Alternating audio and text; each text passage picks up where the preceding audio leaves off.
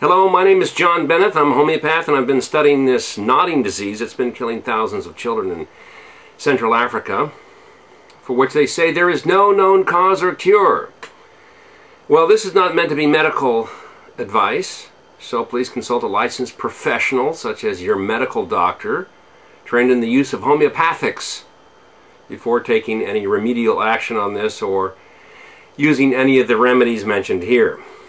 Now, in my opinion, symptomatically, the nodding disease is a deep systemic mycosis, a fungal infection caused by claviceps africana fungus. And the vector here seems to be, now this is in my opinion, the vector I think in, in my opinion is, is infected or uncooked sorghum porridge.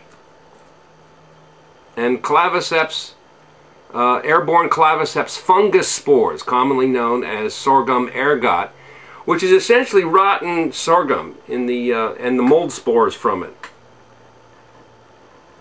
What, now, what, what has led me to this uh, conclusion is that the symptoms of the nodding disease are uh, identical to systemic mycosis, such as we've seen in, in uh, Western countries from eating moldy rye or rye ergot.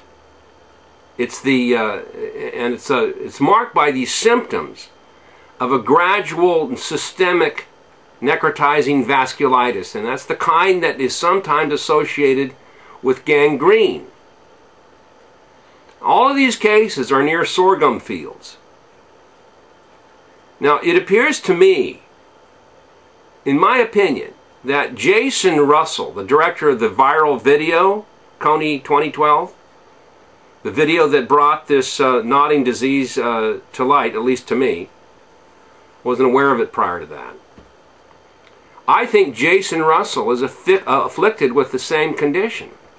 He's showing the symptoms of a systemic mycosis, in my opinion. Okay.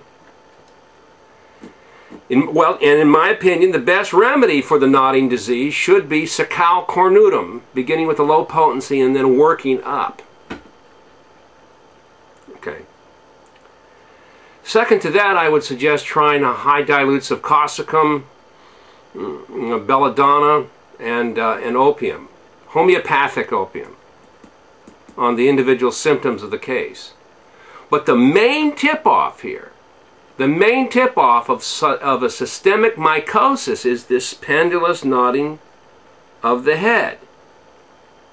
And, uh, and the other symptoms um, which are typical of alkaloid poisoning, uh, are, are there as well, uh, which is what claviceps will produce. It'll produce a, a, uh, an alkaloid kind of poisoning, an alkaloid kind of poisoning, alkaloid poisoning kind of symptoms.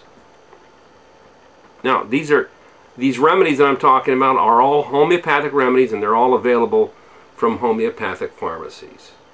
My name again is John Bennett and thank you for watching.